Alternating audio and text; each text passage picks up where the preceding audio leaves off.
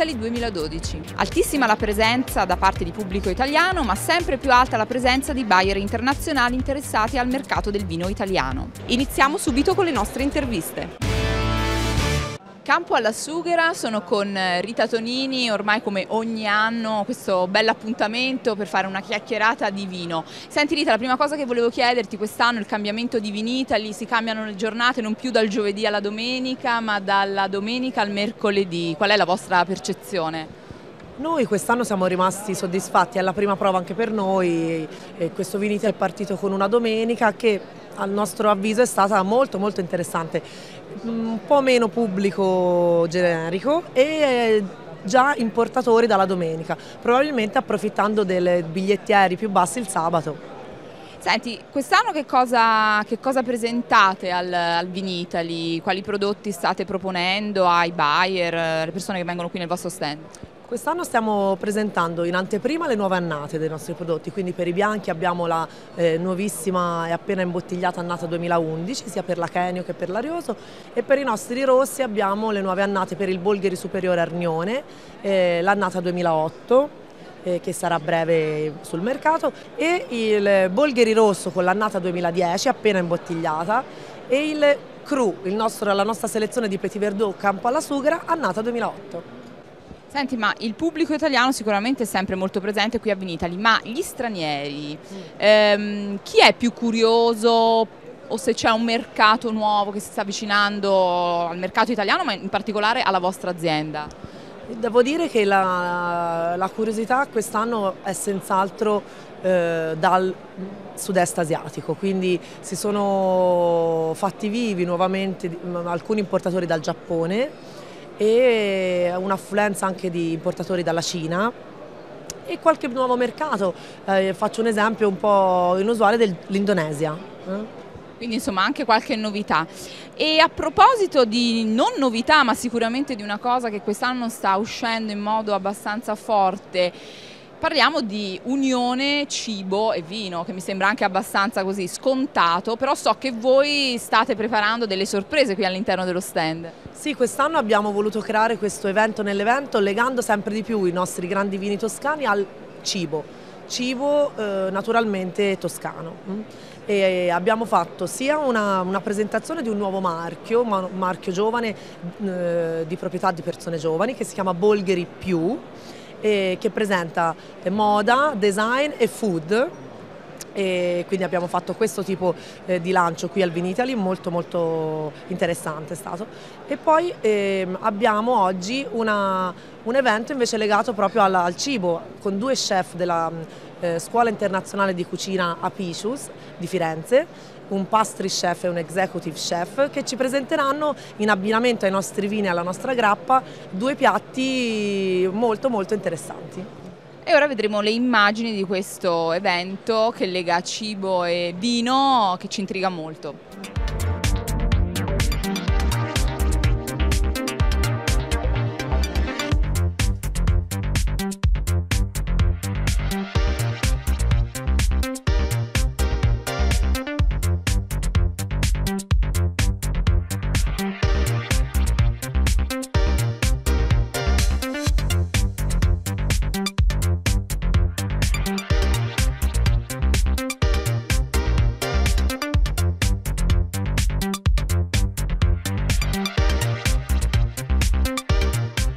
Abbiamo una guancia di manzo brasata a bassa temperatura, 65 gradi per 14 ore, fino a ottenere una consistenza morbidissima.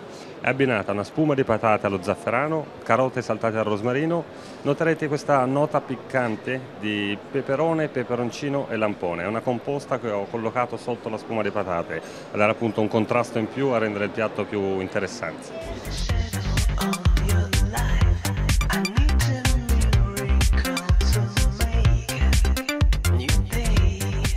Allora, abbiamo un eh, clafoutis eh, all'uva, macerato 24 ore nel campo alla sughera, che è un petit verdot, dopodiché abbiamo more tagliato a cubetti, una salsa ai frutti rossi, una glassa a specchi al cioccolato e una chantilly di cioccolato, macarons con semi di papavero e una decorazione di cioccolato con semi di papavero.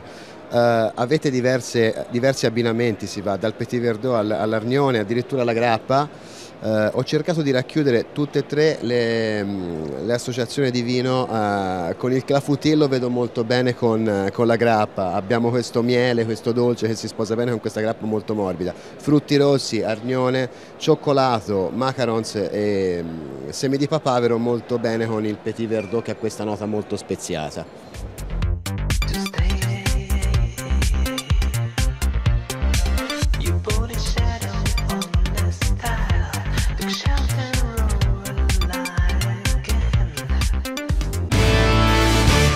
Come ogni anno Vinitali non è solo vino ma è anche tutto ciò che è intorno al vino, quindi anche accessori. Siamo all'interno della sezione Enolitech e siamo venuti a trovare Pultex, nel particolare Pultex Italia. Siamo con Corrado Guerranti che eh, ho il piacere di rincontrare e, e, prima di tutto vorrei chiedere a Corrado che cosa ne pensa del cambiamento delle date del, di questa manifestazione. Interessante ma un po' sconvolgente però comunque per fortuna è sempre una grande manifestazione che ha portato comunque tanta gente e per noi è molto importante. Ecco, vogliamo ricordare un attimo, Corrado, ai nostri telespettatori chi è il Pultex, che è un'azienda spagnola, ma tu, Pultex Italia, rappresenti questa azienda in modo molto forte su questo territorio. Pultex è un sogno di Corrado incontrato 15 anni fa che alla fine è stato preso un po' abbracciato da me con lo gusto italiano, con la voglia di far vedere che cosa siamo e design abbiamo. Gli spagnoli sappiamo che sono nostri vicini, hanno un loro valore, però naturalmente il gusto italiano è un'altra cosa, quindi colori e novità vengono un po' da questa fusione del mm, gusto spagnolo e italiano. La Pultex ha fatto una collezione di prodotti eh, vicini al vino, di servizio, di, di conservazione, di oggetti che cerchiamo di essere sempre innovativi, ma è molto difficile perché alla fine non è che possiamo inventare chissà che cosa, però comunque ci proponiamo con accessori sempre più ehm, innovativi, più colorati, più giusti per ogni presentazione e ogni eh, situazione. Ecco, infatti voi avete veramente tantissime cose, tra l'altro anche divertenti, no? perché il colore, le forme sono prodotti sicuramente di utilità no? per tutto ciò che riguarda il mondo del vino. Ecco, ci vuoi dire, vedo tante cose magari che già conoscevo, però in delle nuove confezioni, nuove formule. Sì, perché abbiamo costruito per esempio questi nuovi kit per avere la strumentazione per come conservare una bottiglia di champagne non che si finisce subito e che si può ritappare e riavere. Poi invece abbiamo fatto un altro più, più un kit più complicato, nel senso che c'è anche un raffreddavino, c'è la solita pompetta e addirittura i primi 5 aromi per imparare un po' quando si annusa o si eh, prova a assaggiare un vino per parlarne un po', perché altrimenti sempre diciamo mi piace, non mi piace, ma dobbiamo un po' cominciare a dire se è floreale, se è fruttato, se qualche difetto e così di conseguenza altri due accessori per l'apertura della capsula e per non versare la, la, le gocce. Beh, assolutamente, insomma, mi sembra una cosa divertente questa qui. Tra l'altro voi avete due tipi di gamme, no? C'è una gamma che va direttamente a un consumatore che appunto può essere anche un consumatore neofita in qualche modo, che però ha voglia di conoscere il vino. E poi andate invece sul, su tutto ciò che è l'oreca, quindi insomma le noteche, aziende vinicole. Noi soprattutto vogliamo dividere questo, noi siamo da tanti anni eh, produttori di avatappi per le, per le, aziende agricole, cioè la parte promozionale. Noi siamo al servizio della promozione delle aziende, quindi nostra, il nostro fatturato, il nostro cliente ideale è l'azienda agricola, però allo stesso tempo abbiamo costruito degli oggetti per l'utente finale, perché anche l'utente finale è sempre più esigente, consuma bottiglie di vino molto più costose, è un appassionato e quindi ha bisogno di accessori. Però la nostra parte soprattutto è in cavatappi professionali per la promozione del vino. E poi voi avete questo sistema, tra, li uso anch'io i vostri cavatappi, molto utile anche effettivamente a chi non ha la, dire, la dimestichezza no? che può avere un, un, addetto ai lavori.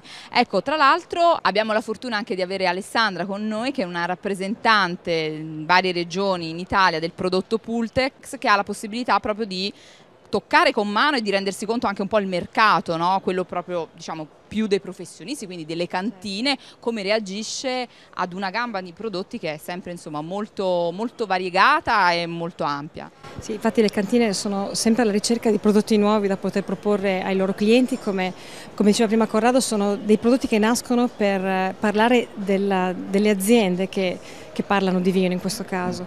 E quindi tutti i prodotti sono brandizzabili della linea Wine Tools e le cantine sono sempre alla ricerca comunque della novità, di qualcosa di diverso. Quest'anno proponiamo esclusivamente cose colorate, quindi ci stacchiamo un po' dai colori tradizionali e tutti questi nuovi articoli che sono arrivati, come dicevate prima, hanno queste caratteristiche. Sono nuovi proprio anche nel, nel concetto del, del, del, prodotto, quindi materiali sempre innovativi. Le cantine conoscono il nostro prodotto, sanno riconoscere il cavatappi Pultex come il cavatappi e di conseguenza questo comunque rimane il modello più conosciuto in Italia ma anche al mondo del, appunto, dei, dei, cavatappi professionali utilizzati nel mondo del vino, da, da, professionisti e non. C'è stato un prodotto, una gamma di prodotti che ha incuriosito di più qui ad Enolitech?